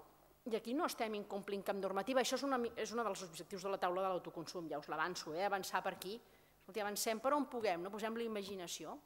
Per al dia que se'ns obri la porta, estar preparats, perquè si no el dia que se'ns obrirà la porta només direm ah, però és que no estava prohibit, ah, però és que això no tenia un impost i no tenim a ningú preparat. Perquè és això, i no tenim a ningú preparat per fer la feina, eh? Hem de preparar la gent i ens dius, home, potser mm, comencem per aquí, no? Totalment perquè ara mateix si intentessis fer una pèrgola fotovoltaica en el municipi que sigui, feina rai, eh? eh i no pas tècnica feina de permisos. Sí. Clar, a vegades jo sempre dic que, mira, a Catalunya va ser més fàcil posar dos cicles combinats en una zona que estava declarada de protecció especial de contaminació atmosfèrica, de 400, no, un de 800, un de 800 i l'altre de 400, em sembla, a megawatts, que posar un parc eòlic de, de 30 megawatts en una zona on no està declarada de protecció de cap mena ens ho hem de fer mirar, eh? també com a país, mm, no tot és ser un altre país, eh? tot és com és possible que 800 megawatts de cicle combinat que estan morts de fàstic, per cert, fossin tan fàcils de col·locar, insisteixo, en una zona protegida per contaminació atmosfèrica per òxids de nitrogen, que és el contaminant principal dels cicles combinats. Vale? Eh, o això ho deixéssim fer, amb una declaració ambiental que entre tu i jo la vam fer un pim-pam, i, en canvi, no deixéssim tirar endavant un parc eòlic de 30 megawatts, en unes zones on no hi ha ni àguiles coabarrades ni hi ha de res, no? perquè l'impacte visual no ens agrada. Ostres, eh, tenim un problema. Aquesta és la realitat, no? bueno, doncs això, o canviem aquesta demanda social o aquests problemes, no ens els traurem mai de sobres. No? I ara tenim una oportunitat, perquè tot aquest model que ara estem pagant, els famosos dèficit tarifari, bueno, tenen una data de caducitat, si no passa res, que és el 2028 acabem de pagar. Ja ho sé que falta molt pel 2028, però escolta, estem pagant 3.000 milions d'euros anuals que es posen en els costos fixes de dèficit. Això vol dir que el 2028 hi ha 3.000 milions que deixen d'estar pagats allà, eh? Mm, per anar-ho pensant, eh? i per, no, i per vigilar que no ens n'hi col·loquin de nous, eh? d'altres coses estranyes. Eh, eh, vull dir, no, a veure, vull dir que aquests tenen un, un període de caducitat i els costos de capacitat que ara estem pagant també tenen un període de caducitat. Per tant, totes això són portes que s'obren dins el rebot elèctric per poder fer coses diferents. Eh? Mm, eh? N'hem de ser conscients. Però si no ho fem per canviar el model no cal, eh? llavors en vindrà el de sempre. Gràcies. Eh, jo sóc el Raül, estic fent el doctorat a l'ICTA, l'Autònoma, i he trobat a faltar eh, al Congrés un, un anàlisi, o potser també per la, per la gent que he vingut a explicar les polítiques, no tant les polítiques en si, eh, quants milions i quines soren, sinó una mica en quines dades i en quins criteris es basen aquestes polítiques. I m'explico, no? Eh, eh, es va explicar un model de com es pot fer la transició, com es pot substituir, etc etc. Però a mi em manca una mica més també eh, aquests criteris. En quins criteris es basa l'administració per fer aquesta aposta tan, tan forta pel cotxe elèctric, per poder-ho debatir, no? perquè per mi jo crec que la governança ha de passar per això, no? doncs, eh, en quins criteris ens basem, en quina informació ens basem, per quines decisions ens basem i qui, qui guanyarà, qui perdrà, quins són els pros, quins són els contres, quins són els eh, aspectes que com a consumidors hem de canviar, com a productors, etc etc. No? Eh, jo crec que s'han explicat moltes iniciatives eh, diguem, enginyerils, de xarxa, de canvi de model de producció, etc. Però, per exemple, amb, amb això que es comentava del tema de, de la política, per exemple, per què no es fa no? un tema d'escalfar l'aigua i sí que s'aposta molt per un altre. Amb un, amb un, amb aquest debat de criteris sobre eh, el model que volem canviar, jo crec que es podria intentar fer aquest debat. Per què es fa una cosa i no es fa l'altra? Però jo trobo una manca d'aquests indicadors per poder tenir un debat, no? perquè sí, jo, jo veig molt bé que els enginyers estan intentant fer molt, doncs, emmagatzemar l'energia, doncs, per exemple, com es va a nivell de calor, etc etc. però després, quan parlem una mica quan, de canviar el model a nivell macro, només es parlen d'euros. No? i que només es parla d'euros, de pressupost, que, que, que no dic que no s'hagi de parlar, eh? està molt bé de parlar-ne, però aquesta política que es fa en pressupost s'ha de basar en uns criteris que no, que no han de ser només econòmics. M'explico. Si estem parlant d'eficiència, hem de definir què entenem per eficiència, perquè definir una eficiència ja és molt difícil en una màquina, doncs explica'm mi què és una eficiència en una societat, en una, en, un, en una economia que és globalitzada, que el PIB depèn de moltes coses que potser tu ha, ha, comentat abans el, el, el representant de la Unió Europea de que, que Dinamarca s'havia de, de desmaterialitzat, no? que havia crescut el seu producte interior brut i havia de créixer el seu consum energètic, però jo em pregunto, Dinamarca és la mateixa ara que fa 30 anys? Produeixen el mateix? La, la seva indústria és la mateixa? O a la seva indústria ho està produint Xina i ara simplement estan fent una altra cosa? Perquè si estem parlant de coses ambientals, si estem fent tot aquest esforç per les renovables pel medi ambient, les fem fent pel medi ambient global, no? Entenc jo. El CO2 és una qüestió global. O només ho estem fent per al NOx i, i les quatre coses que ens preocupen a nivell local i estem desplaçant els costos ambientals. Qui, quins són els costos ambientals de produir totes aquestes bateries? Quins són els recursos que requereixen? Qui ho fabricarà? Quines són tots els recursos? Quant de treball? Quina expertesa requereix tot això? Quants... Jo, jo m'hagués agradat veure algunes algunes dades en, el, en aquest sentit de què es necessiten aquests recursos. Una mica una planificació, un, un esbós de dir això aniria per aquí o això aniria per aquí, tindria un problema per aquí. l'educació necessitarem, doncs no sé, no? I simplement això, comentar això, que, que m'ha faltat una mica una mica aquesta, aquest tipus d'informació macro per poder fer un debat de és millor apostar per això o per l'altre. Gràcies.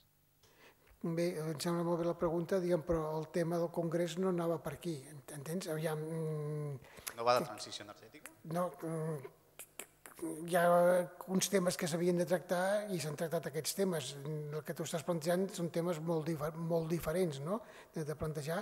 El que sí que ha passat és que mm, les persones que han accedit diguem, a venir a presidir això mm, han explicat algunes coses.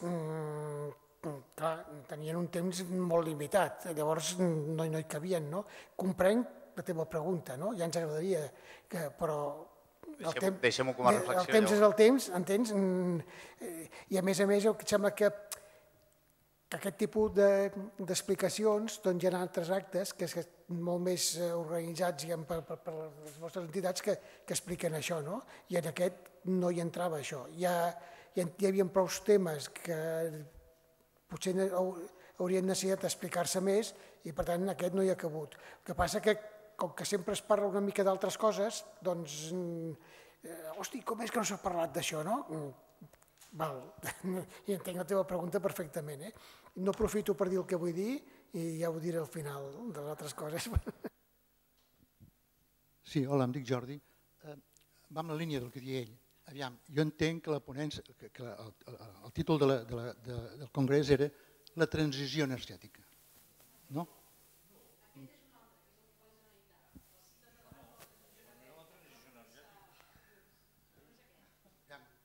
Una part dels, una part dels, dels, dels ponents? Bé, mireu, d'acord. Eh, sí, sí, mira, sí, eh, aviam, eh, l'assumpte ha presentat una foto abans, eh, hipotètica, que era un cotxe, una casa, uns, unes plaques i un... I, no, no, has, has dit mentalment... Sí, eh? vale. I, sí, sí. No, jo entenc que això és el nou model, però per arribar a aquest model hem de fer una transició. Estem aquí i hem d'anar cap allà. Vale? I jo aquí veig, aquí veig el nus, el que no ens en sortim, que no tenim una estratègia clara, consensuada, que a més ha de ser inclús amb els partits polítics. Vale? Per, per, per anar a una. I això no existeix. I tampoc pràcticament no existeix ni entre els conferencians. Eh? Vull dir que, per tant, em, em trobo... Perquè jo entenc que aquest és el problema. El problema és la transició. Tots sabem el model, més o menys hipotèticament, basat en renovables, l'eficiència, l'autoconsum, això ho tenim tots clar.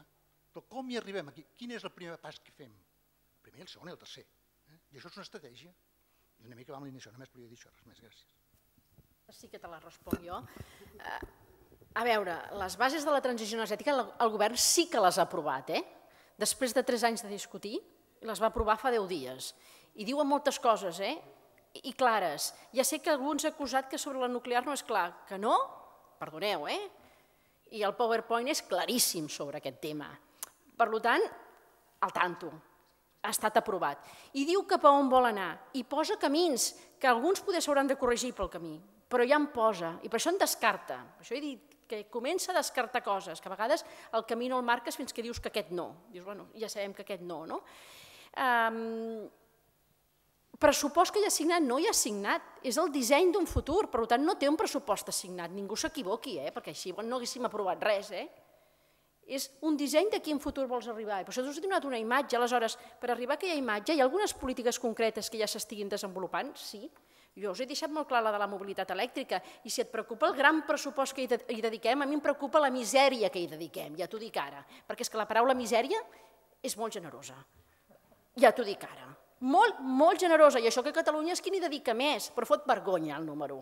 Però fa tanta vergonya que comparat amb el PIB és que, mira, no us ho dic, perquè aquell 0,6 que he dit que traiem abans del pla de deficiència i el 0,8 que he dit que traiem respecte al 100% de renovables, aquí traiem un 0,06. Per tant, això és el que hi dediquem. Uh, però tenim clar que aquest és el camí, el que passa és que no hi ha més pressupost per dedicar-li. Però el que sí que fem és dir l'altre no. El poc que tenim, aquí. I els recursos personals, tots. Però el pressupost el que hi ha. Però tenim una gran sort, perquè és que es pensen que això de la mobilitat elèctrica és molt cara, però què va? Què va? Fixeu-vos que si féssim tota la infraestructura de recàrrega, la ràpida, que al final la ràpida és la que ens ha de, ha de ser anecdòtica, eh? però és la que ens dona una certa tranquil·litat, si féssim tota la que necessitem, amb la normativa que ens ho fes fàcil, perquè la normativa no, no és tant un tema de costos d'implementar-la, sinó com de pagar els termes de potència després, que són brutals, els costos del terme de potència en aquest cas, és que estem parlant de 5-6 milions d'euros com a molt per tot Catalunya. Després, altra cosa és la recàrrega domèstica, però és que la recàrrega domèstica hi ha alguna empresa energètica que ja et comença a fer un sistema de que si durant 3 anys no marxes d'ella com a comercialitzadora, 2 euros al rebut del mes durant 3 anys. I després, quan acaben els 3 anys, 175 euros si tu vols quedar. Això és la recàrrega domèstica. Per cert, això, aquest número multiplica per dos si ho fas tu pel teu compte. Però per això ja us estic dient ordres de magnitud. Eh? Per tant, no és un tema de costos, és un tema de si volem o no volem. I, i és clar, en un país on el sector de l'automoció s'ha edificat al voltant del dièsel, que tampoc de la gasolina, del dièsel, que és aquest que ara hem vist, ostres, què ha passat ara, no?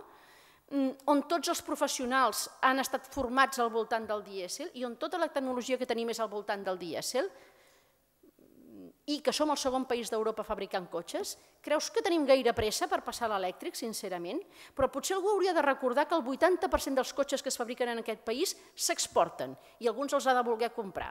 I allò que dèiem de passar pantalles, n'hi ha molts que estan passant pantalles, eh, d'aquests països que no fabriquen cotxes i que els compren fora. Eh, per tant, obrim els ulls perquè perquè poden venir molts garrots, eh, com no obrim els ulls, i després plorarem i ens lamentarem. Eh? Per tant, no és un tema de costos. Tu deies l'impacte ambiental de les bateries. Escolta, les bateries van buscadíssimes. No hi ha bateria residual. Com tinguis una bateria residual i ho diguis, al cap de 10 minuts tens una cua de gent a fora demanant-te-la.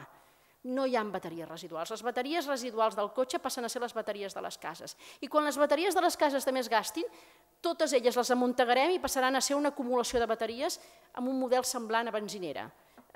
Per tant, la bateria no és cap residu.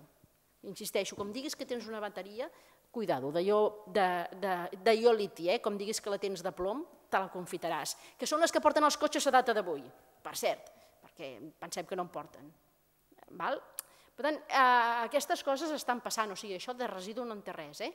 I el que porta associat la bateria, per això insistim que s'ha acabat no saber cap on anem, ens porta associat l'emmagatzematge distribuït. Ara, jo no sé vosaltres, jo a casa un dipòsit d'hidrogen no me li posaré, ja us ho dic ara. Ah, però una bateria sí que me li posaré. Val? Eh, jo no sé quants de vosaltres voldreu un dipòsit d'hidrogen a casa. Eh? Jo no, i com li digui a la comunitat de veïns em fan fora, directament. En canvi, la bateria, dius, això és una altra història. I a més a més, escolta, és que el cotxe em porta, ja està. Per tant, I això permet eh, que la Montserrat pugui tirar endavant amb els seus projectes d'emmagatzematge. Per tant, un sol obre la porta a tots. I això permet que l'autoconsum, si no ens deixen fer balanç net, doncs ens emmagatzemem l'energia. O sigui, això és el que et permet començar a fer, no? per això és atractiu. Per tant, i ara torno als nanos que estan estudiant. Jo no sé si és molt atractiu pels nanos començar a estudiar indicadors tot el sant dia. Jo, la veritat, quan veus per on va la cosa, eh, tira. Que podem tenir uns marges d'errors, i, i tant que podem tenir uns marges d'error, però és que l'error fonamental i garrafal és no moure's. I ara estàs en un moment, jo ho he dit al principi, que així com fa 120 anys van aparèixer dues tecnologies que ens han fet arribar on som avui, que un era el motor tèrmic associat al petroli, que ens va fer deixar les diligències i els cavalls a fora, i l'altre va ser la, el traspàs del corrent altern, el corrent continu, el corrent altern, que ens va permetre portar l'electricitat de llocs molt llunyans a grans ciutats, aquestes dues grans transformacions ens han portat al model energètic actual, centralitzat i, i d'altra banda, el motor tèrmic del petroli que té coses molt bones, per això us deia que jo no hi penso renunciar eh, en el model centralitzat, no ens equivoquem, eh? home, però un 100% no cal. Per tant, aquest model distribuït paral·lel i tots dos conjunts són els interessants. I les noves tecnologies que et permeten tornar al model distribuït és l'emmagatzematge per una banda i per l'altra és la digitalització de la xarxa elèctrica. Aquella xarxa que vam saber transportar electrons de molt lluny sense que es perdessin gaire pel camí, que arribessin, doncs ara resulta que comencem a saber que els electrons van en doble direcció. Ostres, aquestes dues tecnologies són les que canvien el món energètic. Llavors, de nou me'n torno als estudiants. Estic molt convençuda que els agradarà més estudiar aquestes tecnologies, veure com avancen les bateries, veure com Tesla tira pel dret amb el que està fent i canvia el model energètic, que fa indicadors tot el dia, no fos cas que aquesta no fos la tecnologia escollida. Doncs mireu, davant del que hi ha, com a mínim aquesta és una porta a obrir. No? Per tant, quan parlem de les bases de la transició energètica a Catalunya, aposten claríssimament per això, però claríssimament, sense gaires dubtes. De fet, quan això es va explicar als periodistes, molts parlaven d'independència a Catalunya, independència energètica. Escolti, que són coses independents, eh? que la independència energètica l'únic que vol dir és que no podem dependre un 92% de coses que ens venen de fora. Això és el que vol dir la independència energètica. No? I, i insisteixo, com que estem al 0,8, home, jo treure un 7, la més feliç del món. Eh? eh cosa que voldria dir que encara hi ha un 30% de coses de les convencionals. Eh? Escolta, mira, continua havent-hi pedres, allò que dèiem, no? Per tant, eh, no passaria res. Però agafem un camí, i, i aquí l'hem agafat, i fet hi va haver un periodista que em va fer riure molt, que va dir, un deia allò de que Catalunya es fa independent també amb l'energia, i un altre que deia que Catalunya proclama territori Tesla. Dic, mira, aquest ho he entès. aquest ho entès, no? Um, no li van posar nom, però sí que és clarament aquest nou model energètic, no? I Tesla no es diu Tesla perquè sí, es diu Tesla en honor a Nikola Tesla, que és el senyor de la corrent, del corrent, torno a rectificar, continua corrent altern, és qui fa el trasllat de l'electricitat a grans distàncies i obre aquest camí. Per què Tesla es diu així ara? Perquè és qui torna a tancar el camí i ajunta els dos models. Doncs, això, i abans ho dèieu, no? com convencem el ciutadà engrescant-lo? A nosaltres no insisteixo, els que venen. I això els hi engresca. Mantenir el que tenim ara, pff, la veritat. Llavors, potser sí que hem de triar un model i ser això el que estudiem. No, ja ho sé, ja ho sé que ens agrada tots fer molts números, eh, però... Yo quería, quería hacer una, una reflexión, visto que se ha nominado una otra vez Dinamarca.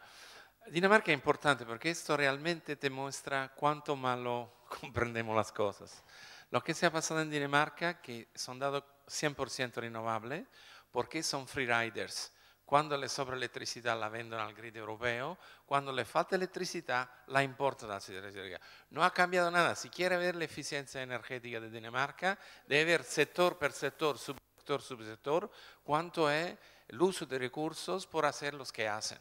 Si hace global, simplemente te da cuenta que está externalizando la producción de electricidad que es el 30% que expendemos nosotros, porque las Alemania, que hace exactamente la misma tecnología de la, de la, Dinamarca, y ha inversionado en alternativas exactamente igual, eh, no, no le está pasando igual.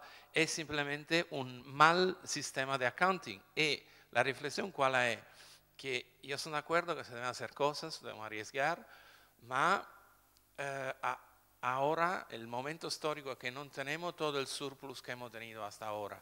Hasta ahora podemos inversionar 80 mil millones en etanol de corn, ¿no? da igual, porque había avanzo. Ahora ya España está pagando las pensiones emitiendo deuda. No tenemos dinero da inversionar su cosas que son bobadas. Entonces, yo reitero la discusión que yo creo que sería mejor de entender mejor cómo funciona el sistema energético y el constraints en la demanda, en el supply, quién usa la energía por hacer qué, dónde, a qué nivel, antes de tomar decisiones muy radicales, porque puede ser o no puede ser. Por el momento, no, yo, yo creo que no tenemos una buena información sobre cómo está funcionando el sistema, porque no tenemos los datos. Hay un montón de datos, pero no son organizados de la manera que se necesitaría por hacer análisis efectiva. Eh, este ejemplo de Dinamarca es igual. Mira, eso dice, ah, yo, yo, hago esto de, de 20 años con la, comparar diferentes países, eh, metabolismo a diferentes niveles, y no es verdad. Simplemente que eh, los economistas usan datos muy agregados y agregando cosas no se ve nada. Porque una pera es un, ¿cómo se llama? Un pero es un, una pésego, soy igual, no soy igual. Bon vespre.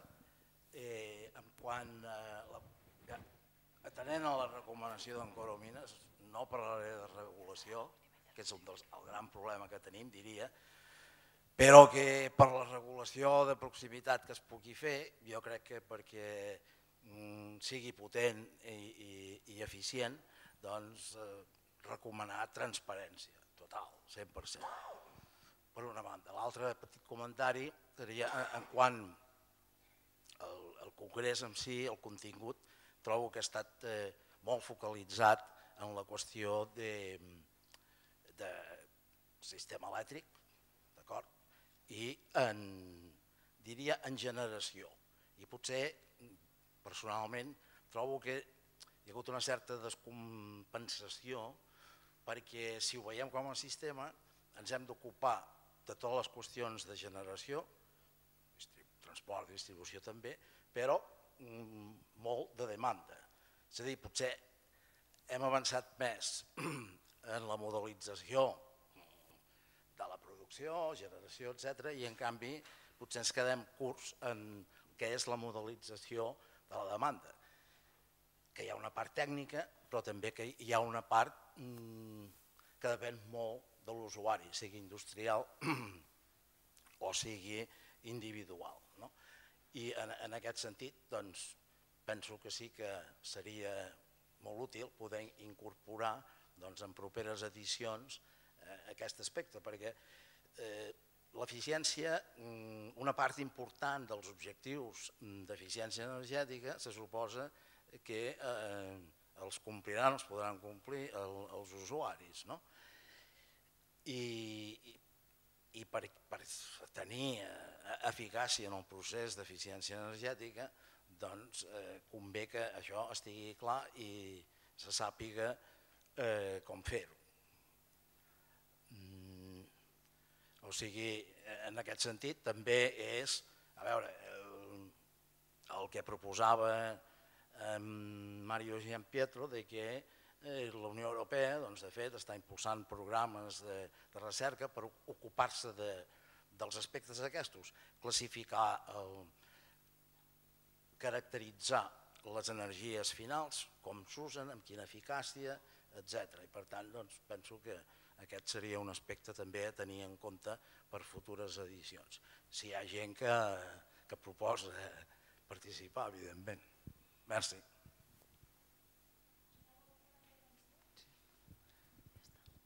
Bona tarda, mm, ja és tardíssim, per tant, eh, em sembla que ja, ja sóc l'última i després el, el, el nostre president. No? Eh, felicitar el Congrés perquè ha estat d'un nivell, com sempre, magnífic i jo només dic que a veure si la propera logrem que vinguin mitjans de comunicació i a més més públic perquè, perquè és una pena no? Que, que, que tan poca gent pugui gaudir de, de, de, la qualitat d'aquest congrés. I una altra felicitar a la Generalitat per la seva valentia i, per, i perquè el pla jo crec que és una aposta valenta i que el necessitem. Jo només dues preguntes. Uh, perquè no me l'ho puc mirar. Tant congressos i el dilluns l'acte que vau fer, els congressos, el divendres una altra cosa, o sigui que encara no l'he pogut mirar en, en profunditat. La col·laboració amb les ciutats. Aquí no s'ha parlat massa aquest, en aquest congrés, altres anys sí que ha passat, és la col·laboració amb el paper fonamental de les ciutats eh, en aquesta transició donat que a més les ciutats, la majoria, o almenys l'àrea metropolitana i projectes com els micropobles de, de que ha parlat la Maria i CEMES eh, també està, eh, està promovent, eh, és, són plans que s'estan fent des de les ciutats i aquí la col·laboració ciutat-generalitat jo crec que són fonamentals, perquè si no la Generalitat són només no, perquè que les ciutats són les que l'han d'aplicar i aquí els ajuntaments jo crec que tenen un paper fonamental. I l'última, i per això he dit que seria breu, és eh, he vist que en algun lloc que ara ja està, la hidràulica no s'ha parlat. I la hidràulica està a punt, mm, sembla ja, de començar a, a poder revertir a, a l'Estat perquè mm, les llicències ja estan a punt de caducar.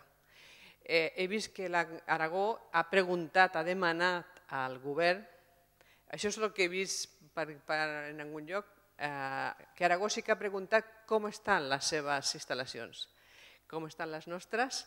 Ho preguntarem, ho reclamarem al govern que, que, que siguin estatals, que passin a, a l'Estat, no, que, no que continuïn sent de les, de, la, de les empreses privades.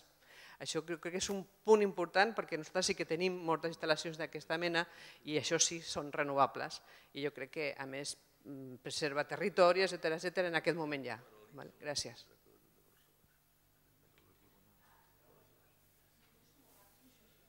Sí, el tema dels ajuntaments, home, mira si l'hem tingut present, que la imatge del davant del, del document de bases justament és una ciutat.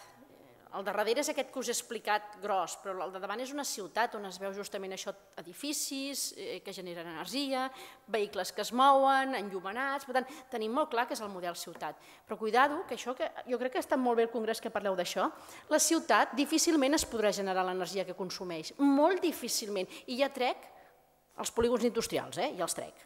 Només el consum de ciutadans i el consum de serveis públics ciutats de més de 100.000 habitants, no és tan senzill generar-se l'energia que ells consumeixen. I ja no parlo del 100%, jo ja parlo del 20%. Eh?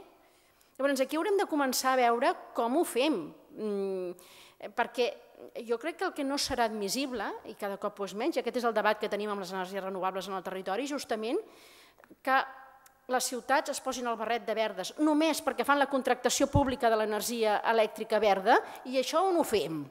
Perquè clar, aquí no, aquí tenim un 0,8, recordeu-ho. Per tant, aquí no ho estem fent. Per fer-ho aquí què farem? Ens n'anirem a municipis petits a obligar-los a que posin energies renovables, perdoneu, això, paraula democràcia, no la porta associada no li porta. Per tant, haurem de convèncer-los i possiblement convèncer-los, jo no crec que un cànon com l'eòlic que ara es havia posar serveixi per convèncer-los, perquè aleshores els que no estaran convençuts seran les empreses que posaran els aerogeneradors. Doncs, bueno, aquest tampoc, aleshores. I que no cobrin res per aquella immensa ocupació de l'espai, perdona, però tampoc. Per tant, com ho arreglarem, això?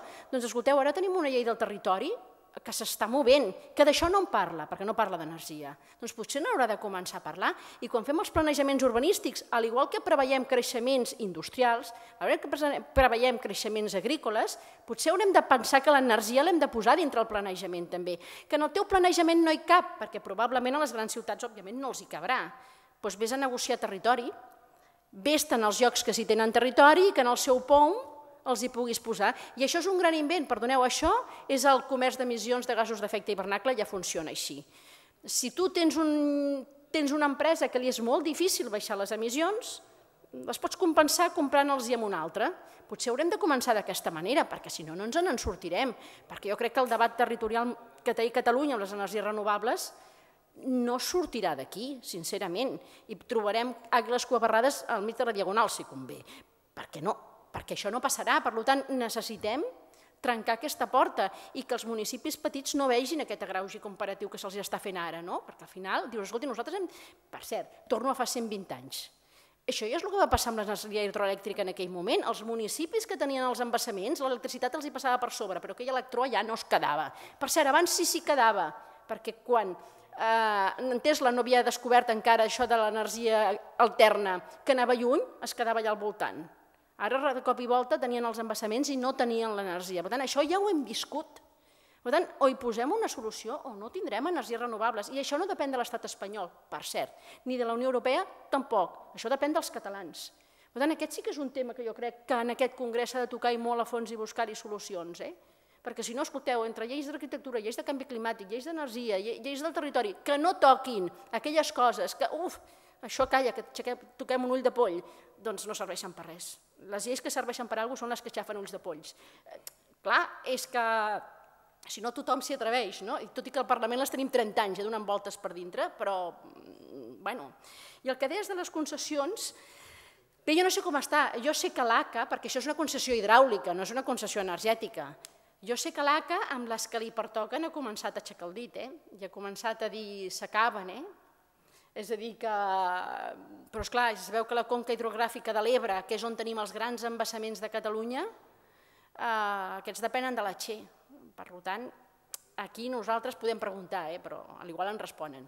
Però mm, més enllà d'això, però en canvi les d'aquí eh, sé que, que, que s'ha començat a demanar, no? i això afecta, esclar, afecta el, tota la zona del Ripollès, a la banda, no, bàsicament el Ripollès, eh? Ripollès i després Osona, no gaires més, eh? tota la resta estan a l'altra conca. Per tant, poquets, eh? Sau Susqueda i les... I, eh, Rialp, no és Segre, Rialp? Jo diria que és Segre, eh? Tampoc, eh? Uh, sí, les petites del Ripollès, sí. Sí, sí, aquestes sí, que aquestes, mira, ara no hi ha ell, però moltes d'aquestes, ens ho explicaré bé al Santi, perquè aquestes ells en tenen algunes d'aquestes i sé que els estan afectant, no? però són petites, eh? res a veure amb, amb Canyella, Santana, res a veure amb tot això. Eh? Sallent, res. Les, tenim les petites aquí només, per tant no ho sé la veritat. Ara jo sí, eh, ja, ara sí que... Bé, no, moltes gràcies per la participació de tothom. Hem aconseguit superar el temps que teníem marcat, això vol dir que i encara hi hauria algú que voldria parlar amb noves coses, vol dir que han sortit moltes coses. Eh, he apuntat aquí, n'he apuntat aquí algunes, ho diré per l'ordre més o menys que em sortiran aquí. Assumpte de ciutats. Aviam, eh, aquí mm, la ponència de Barcelona no ha pogut venir la Cristina Castells perquè no, no ha pogut venir, llavors era una ciutat. Aquí s'ha tocat l'àrea metropolitana de Barcelona, els, els ENZEPs que, que, que han sortit, eh, ha sortit el Baix Ebre, diguem, d'alguna manera, per tant, s'ha cobert a les ciutats, malgrat que no era un tema específic d'aquest congrés, però dir, i els micropobles. Per tant, ha anat des de l'àrea metropolitana de Barcelona fins als micropobles. Mm. I a més a més, diguem, les ciutats és una cosa que està molt coberta per les diputacions, per tant, el congrés no hi entrarà de forma directa, perquè ja, ja està coberta d'alguna manera. No? Diguem, mm, eh, la qüestió d'especificar l'estadística energètica aquí intentarem més comentari, no? Per exemple, l'energia Roadmap 2050, allí està molt especificat d'on surt l'energia, com va l'energia en aquest model, no? I a més a més fa una, una progressió de cada cinc anys en un període de temps. Per tant, i això ha estat publicat i tot això té textos al darrere. Per tant, vol dir que, que, que ha treballat amb un nivell d'anàlisi mm, important. No serà suficient, potser no, però tampoc és tan simplista com, com s'apunta moltes, moltes vegades. No? Um, aviam, què més n'hi ha per aquí? Um, sí, la qüestió d'informació pública, per exemple, en el temps. No? És curiós que ens inunden d'informació de, de, de la neu, de, de la neu a les pistes d'esquí, les previsions de totes aquestes, i en canvi de contaminació i tot això, no. Això és un escàndol. Vull dir que, o sigui, propaganda perquè surtis a esquiar i perquè surtis a la, a la, a la platja i tot això, i en canvi l'altre no. Això és que bueno, mm, no vull posar-li nom, no?